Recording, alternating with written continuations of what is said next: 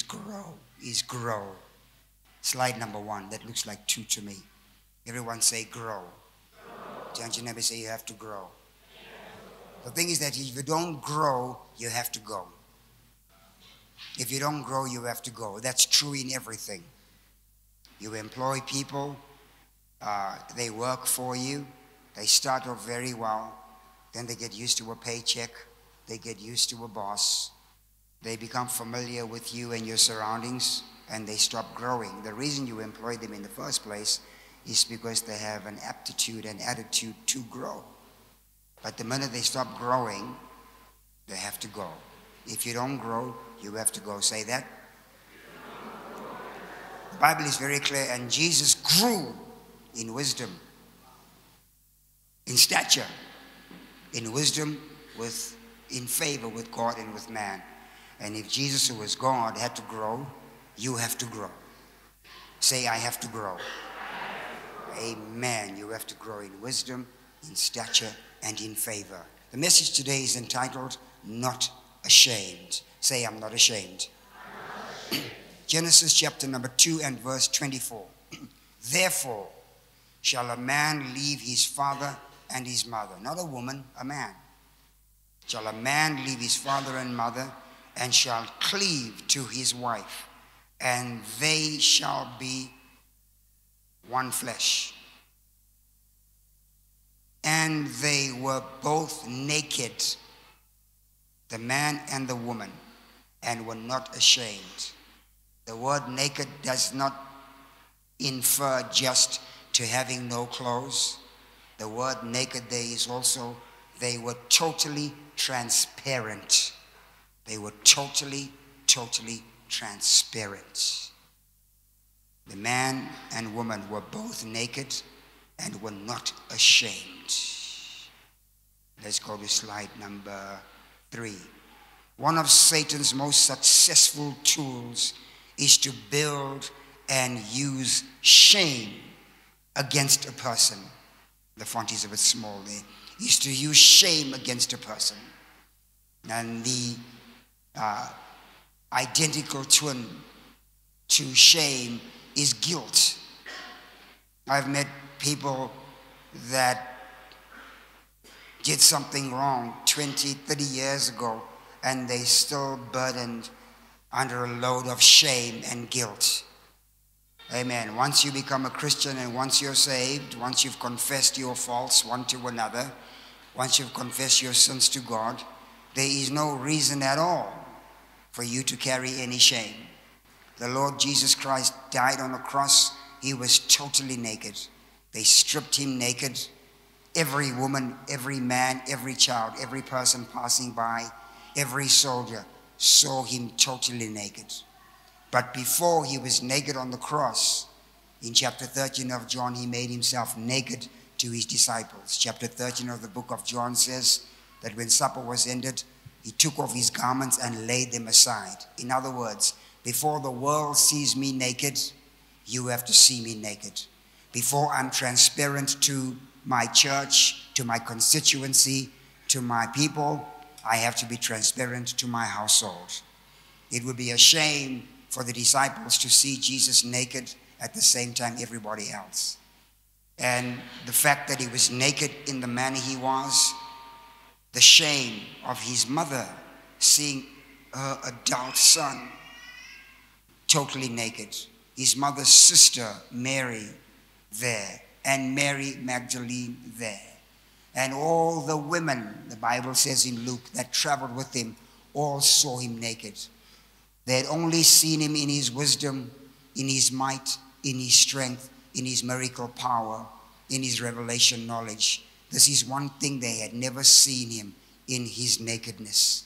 And if you are going to be a complete person, a complete savior, a complete problem solver, the person that you are assisting has to know and at least have a sense of your failures, your vulnerabilities, the times when your weakness uh, overtook you and you succumbed, so that the person who is looking at you as a God will know if my idol has erred and made mistakes, if I do, it's not so bad because they failed and yet they are successful.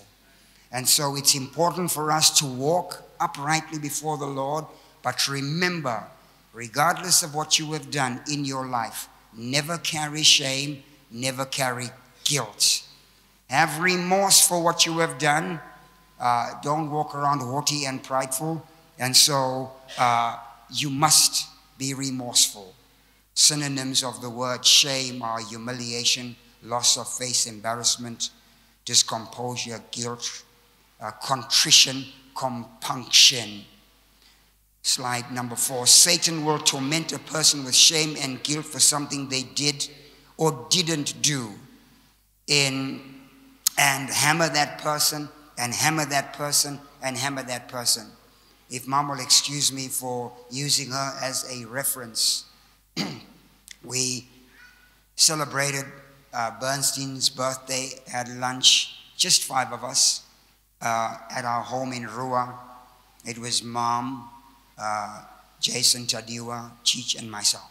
Just a simple meal of what Bernstein liked to eat. And mom began to rehearse the week and the day when he passed. And she was saying, as she said times before, if only I had done this, if only we had given him this injection, if only we had, if only. And so what happens is that rehearsing an incident and a story is fine, but don't allow that story to hammer you and cause you to have regret and shame and guilt. We have a family here whose child died and swallowed a, a plum pip, and they didn't have money, enough money, at one of the hospitals for the, the child to be attended to. They had to find $5,000 for the child who was dying to be attended to, and they lost their child. And still, they are carrying heavy guilt and shame. There is no reason for you to be guilty. There's no reason for you to carry shame. Say after me, if you are willing and able, I am free from shame. Shame impedes a person's performance and changes their behavior to be docile, secluded, isolated, introverted, and even shy. Satan will accuse you, threaten to expose you publicly for your wrongdoing. And so you just have to say, see so. If I'm exposed, it's fine. Life will go on. The sun won't rise in the north, won't set in the south. The sun's going to rise in the east and set in the west. It's raining somewhere, it's windy somewhere, there's tragedy somewhere, there's prosperity somewhere. So, see us all. I'm not going to live the rest of my adult life in shame and in guilt. At the age of 66, in a few days, imagine living my next two decades, decades carrying shame and guilt. I'm not doing that. I'm going to be happy. Uh, and I are going to enjoy our lives. We're going to do the very, very best to present for our lives high quality. People that have been sexually abused and molested a lot of times carry shame. And a lot of times, you know, uh, there, there are programs that mom watches, especially crime, Chicago PD, and all of that stuff. And some of the, the storylines uh, where a woman is raped or molested and they don't tell, because a lot of times the woman uh, is said to be the one that enticed the man, and the woman is the one on the stand that is abused and belittled.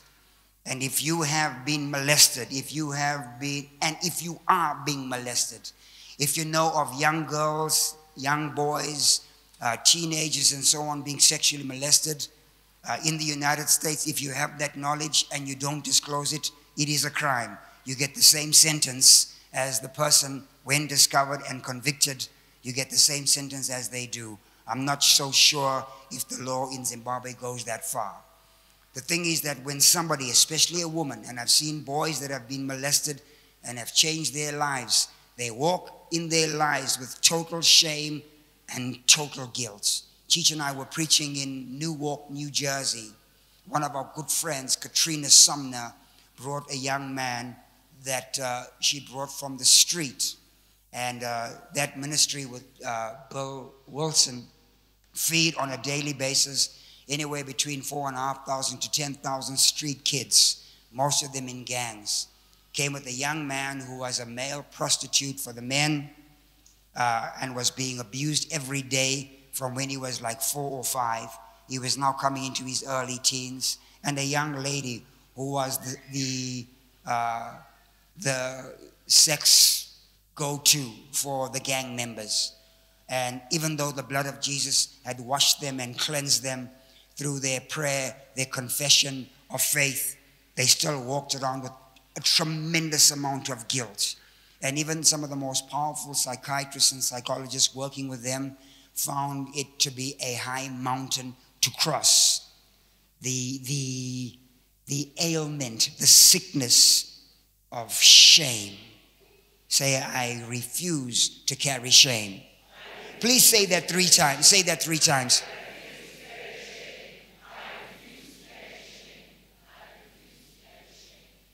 In Numbers chapter number 12 and verse 1, the first family are having a bit of a family squabble. Anybody here with family that has family squabbles, raise your hands and your feet. family squabbles do happen, they take place, and they're not planned. And sometimes when we go to certain family functions, some of us are a little trepid because we know, especially if there's money involved, inheritance involved, there's always somebody that's a drinker, squanderer, druggie, da da da, lazy, hasn't worked, wah wah wah wah, you know. And then a family squabble starts brewing up. And so uh, this family were key in the liberation struggle to get Israel set free. Miriam's the oldest, prayed for the family for 80 years. Uh, Aaron was the prophet, Exodus 7. He was the prophet. Moses was the deliverer, the apostolic deliverer who built the house. And God used him so mightily. And so all of his miracle ministry in Egypt and challenging Pharaoh, crossing the Red Sea, sweetening the waters of Marah, striking the rock in chapter 17 at Rephidim and bringing water out, all of those phenomenal, significant miracles. Uh, his wife Jochebed and his children Gershon and um, did not witness the miracles. And so then Jethro, his father in law, comes and Moses tells them they hear the story the first time as their father slash grandfather of the wonderful things that God did in Egypt. And so Jethro hosted a, a an evening, a dinner, a state dinner, because he was head of state and priest of the Lord in the earth. And he blessed the family. Up until this point, there were no sacrifices outside of the single sacrifice of Passover in chapter 12 of Exodus.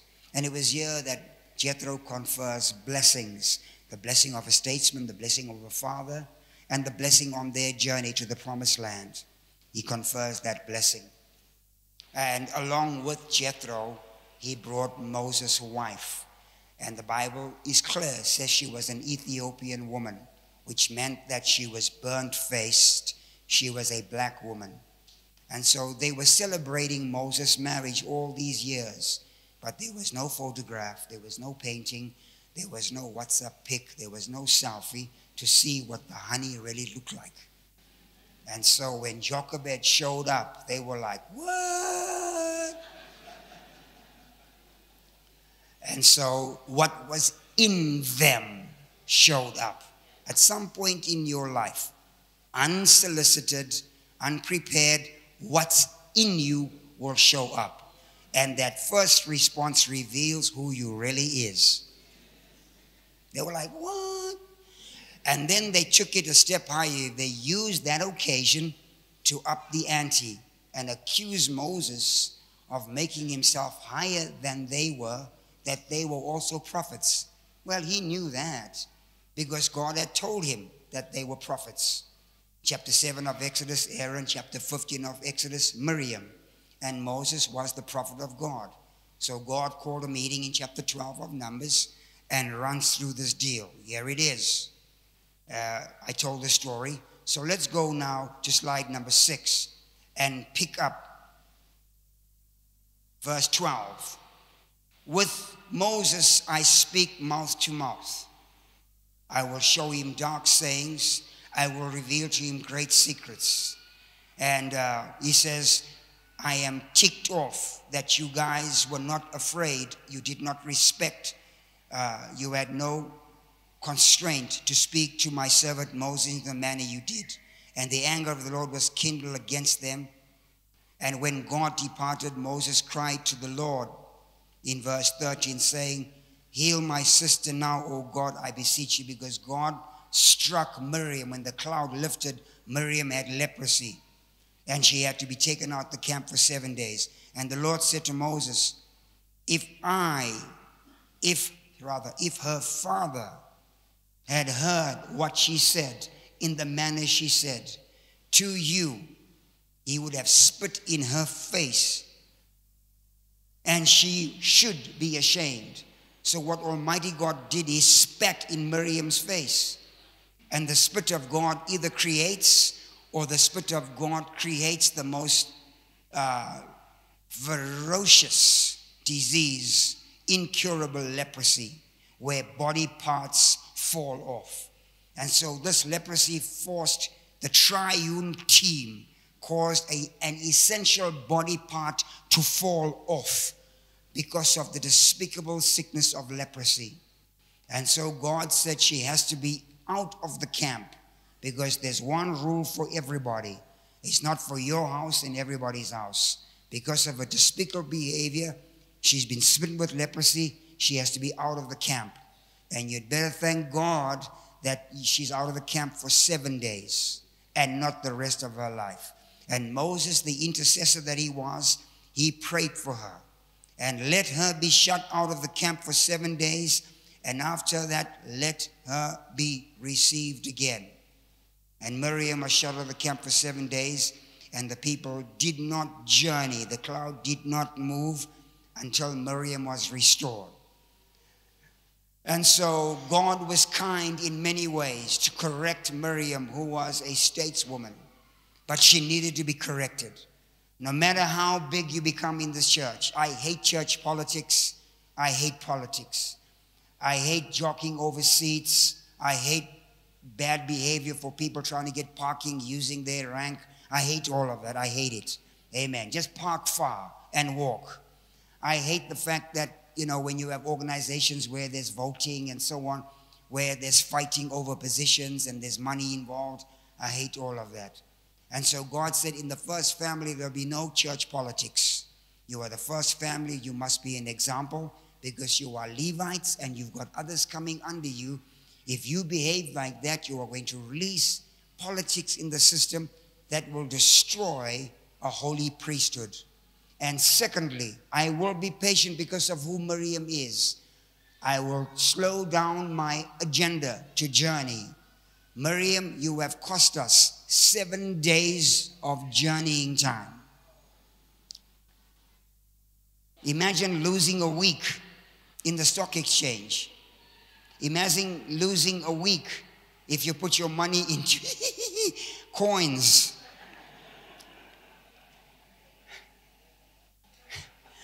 Enough said. And so say, God, you gracious unto me. And so Miriam had to be ashamed, and she was shamed. And God instructed Israel when, uh, when Gogo Miriam walks through the camp, none of you point a finger at her, none of you scoff at her, none of you smirk and giggle, because what has been on Miriam will come on you. Do not dishonor under any circumstance. Are we together, everybody? Say, God, remove all shame. Slide number eight. There are things that produce shame. There are many, I've just chosen a handful in lieu of the nature of this service and its time. Luke chapter 16, the general manager of a, an enterprise of a very rich man was abusing the money. He was borrowing and wanting to put it back.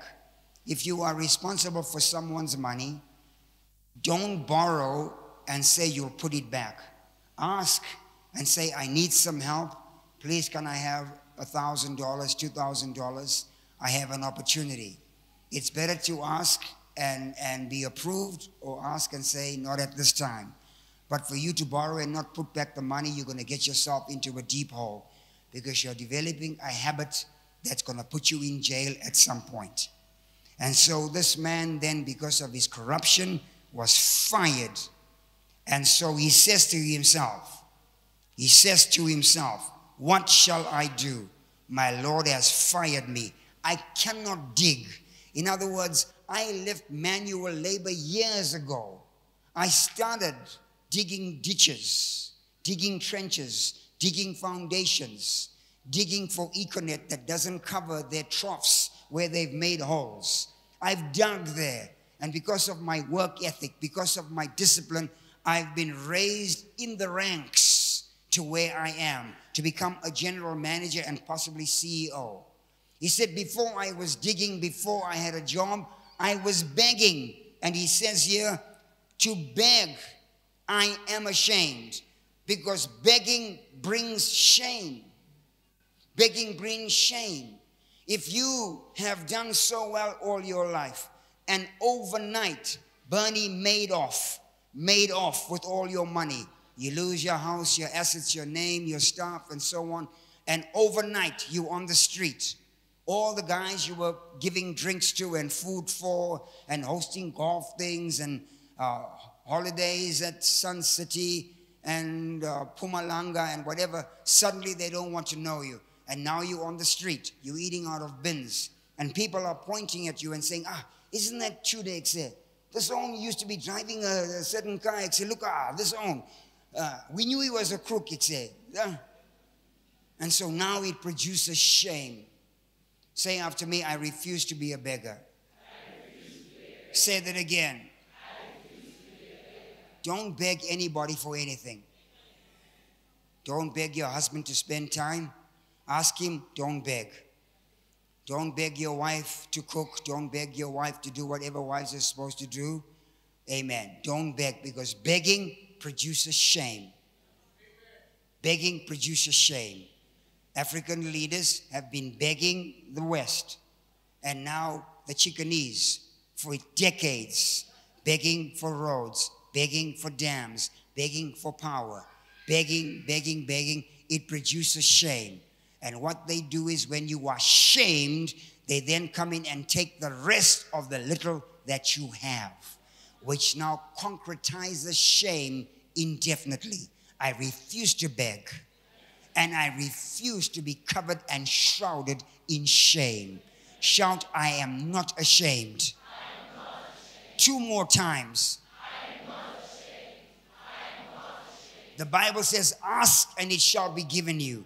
Seek and you shall find. Don't beg, ask. Don't beg, ask. A rich man was eating sumptuously, and Lazarus was begging right there.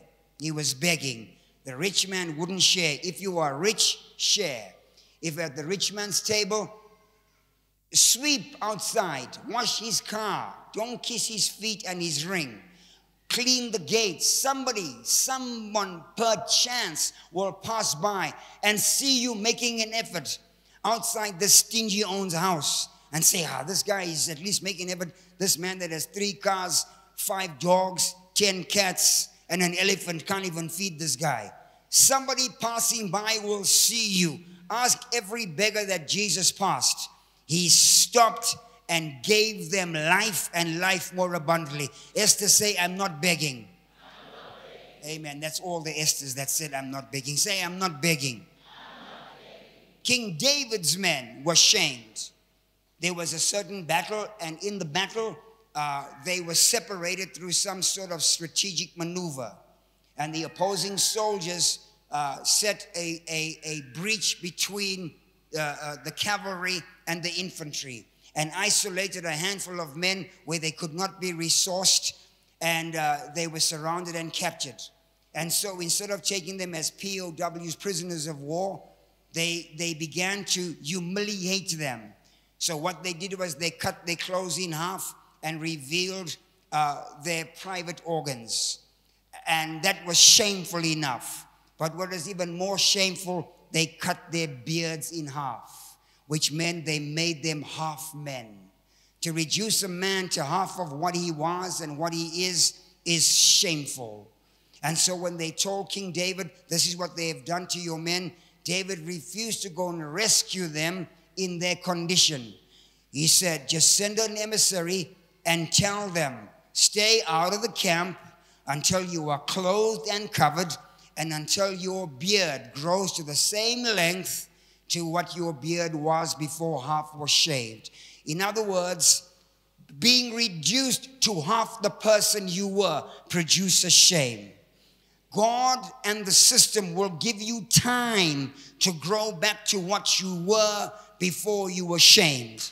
In any way you were shamed, give yourself time to grow back to the status you were. Because if you are received in your condition, that shame will be perpetuated by kids and their generations, saying, Uncle George, sorry, George, Uncle George was shamed. And the story goes on, and people make it worse than it was. But they remembered you going out as a man. When you come back, they see you coming back a stronger man, knowing that you endured persecution, you endured abuse, you endured humiliation, and you become dubbed in doctor. I'm a doctor. You went through hell, you went through thick and thin, and you've come back with dignity You've come back with your head held up high. You've come back proud, proud to be a soldier in David's army, proud to represent your nation, proud that you did not succumb to pressure. A man amongst men, not shamed. Shout, I am not ashamed. Ezra the scribe in the book of Ezra, chapter number 8, restored the Bible or the Torah and he read the Torah to thousands of people in Jerusalem, a different story. And then it was needful for them to go out of the city and to uh, offer sacrifices to the Lord in thanksgiving. And so, verse 21 of chapter 8 Then I, Ezra, proclaimed a fast there, which Pastor Zinashi has proclaimed from the second, that's tomorrow, all the way to the 22nd. It's a 21 day fast, one meal a day. A fast there at the river Ahava, that we might afflict ourselves before our God to seek Him in a right way for us and for our little ones and all of our substance, because God had given them so much. And then He says, I was ashamed to require of the king's soldiers and horsemen to help us against the enemy in the way. There are certain requests that you must not be ashamed to ask. Do not be ashamed to make your request to the king. Whatever you want from God, especially on this day, don't be ashamed to ask. If you've been asking God to marry and you're not yet married, don't be ashamed and let the devil say, How about you? You asking again, you should be shy. No. Has the devil married? He's never been married. Does the devil have children? He's never had children. So why is he shaming you? Shame him back. You are not going to hell, he's going to hell. Tell him, go to hell. Amen. So don't let the devil shame you for something he has not done. The devil's never been washed in the blood. You have been. The devil's never repented. He can never repent. The devil cannot sing praise and worship songs. He lost that eons ago. You can still praise and worship God. Amen. If you're unemployed, don't allow the devil to shame you. Ask God for a job. Ask him for a promotion. Satan will never be promoted. Satan's way is down. And even when he goes into hell, by naughty, it is a bottomless pit. He'll be sinking for the rest of his eternal existence. Shout, I'm not ashamed. Ask with boldness. Ask and proud to ask. Ask as a black woman. Ask as a black man. Ask as a husband. Ask in your unemployed condition. Ask as you are employed. Ask for a better car, a better house. Ask for water. Ask, listen, these people here, dining, they eat pig feet. I'm not asking for pig feet, amen. Eat T-bone man, amen. Ask for tails, ox ones, hallelujah. Someone shout, I'm asking. When you have an assignment from God, do not approach, do not be ashamed to approach the throne of grace. Come boldly to the throne of grace and approach the king as Queen Esther did.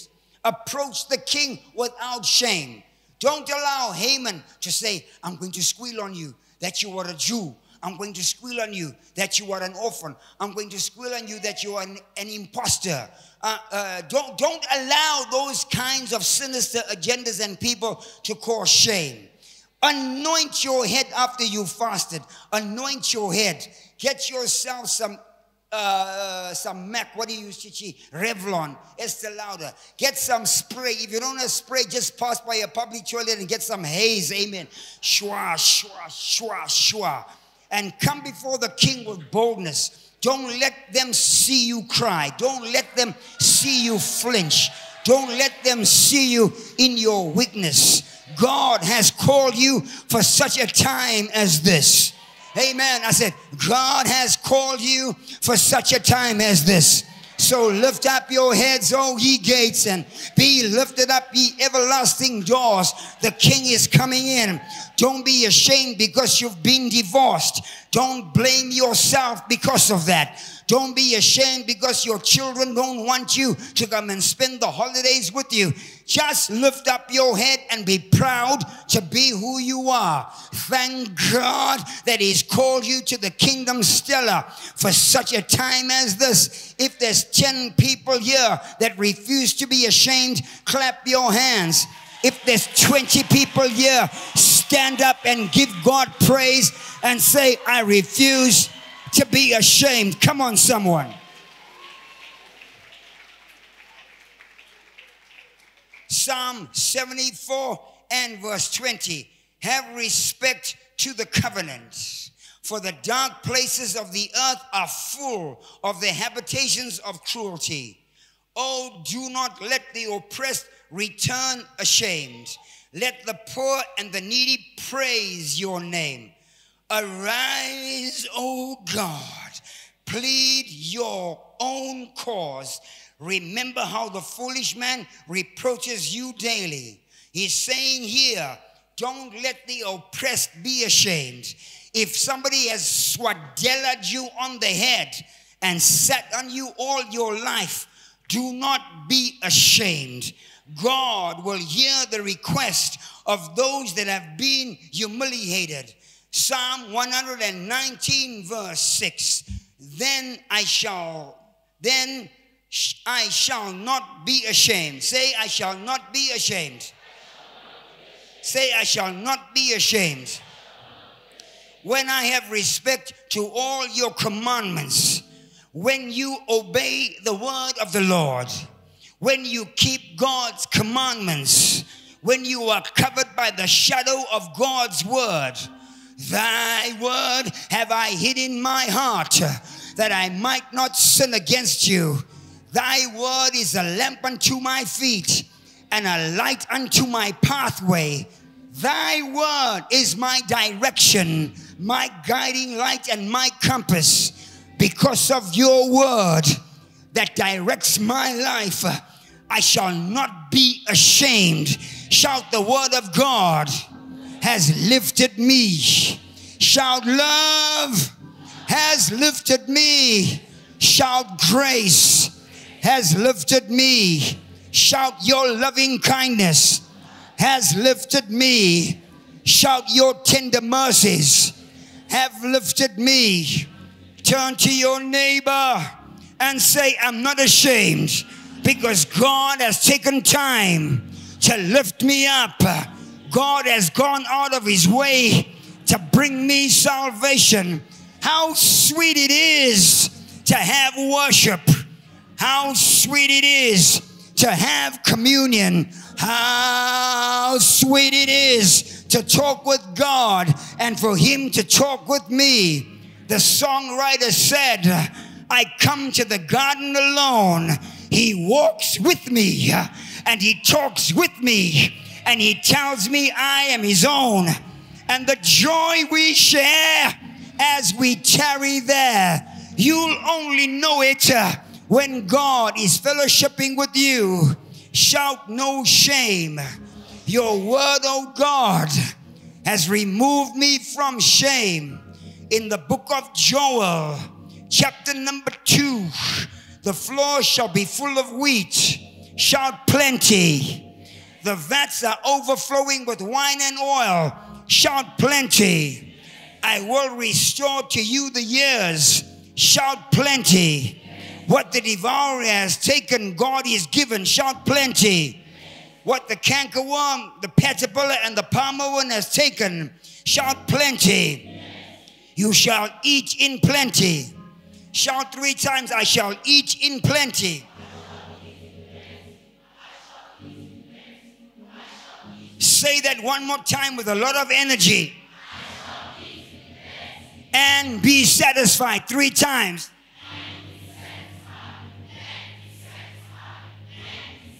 I will eat the word of God in plenty. I will eat the love of God in plenty.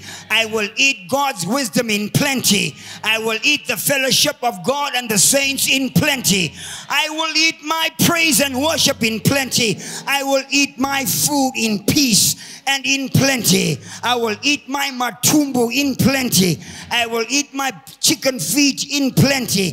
Can you hear what a brother's saying? And I will be satisfied and praise the name of the Lord our God, and who has dealt wondrously with me.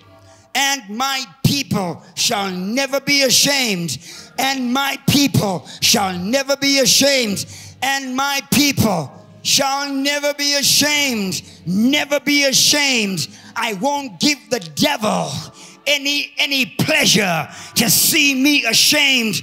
I won't give him pleasure. To see me discouraged or weeping or crying. I will never be ashamed. I will never never never be ashamed. No shame in my life for i am not ashamed of the gospel of Christ, for it is the power of God unto salvation. The gospel has removed my shame. Romans 5 and 3. Hope makes not ashamed. I have hope for tomorrow. I have hope for my future. I have hope for my gift. I have hope for my talent. I have hope for my investment. I have hope for my prayers. I have hope for the blessing of God. Hope has brought me far. I am not ashamed. I am not ashamed. Shout, I'm not ashamed. Give God a praise. Romans 10, verse 11. For the scripture says, Whosoever believes on him shall not be ashamed. I believe in the Lord Jesus Christ. I believe in the Father Almighty. I believe in the Holy Spirit. I believe in the Bible. I believe in the universal church. I believe. I believe in prayers being answered. Shout, I am not ashamed. Shout, I am not ashamed. I am not ashamed of God. I am not ashamed of my salvation. I am not ashamed of my gospel. I'm not ashamed to carry my Bible in public. I'm not ashamed of my church. I'm a proud member of New Life Covenant Church 149, Robert Mugabe. I'm not ashamed to pray publicly. I'm not ashamed to fast. I'm not ashamed to pray in tongues. I'm not ashamed to be a man, a black man at that. I'm not ashamed to be a father, a grandfather at that. I'm not ashamed to be a Zimbabwean. I'm not ashamed to be an African. I'm not ashamed of my weakness because in weakness I am made strong. I am not ashamed of my family. I'm not ashamed of Dream. I'm not ashamed of Terry. Never ashamed of Eden and Idris.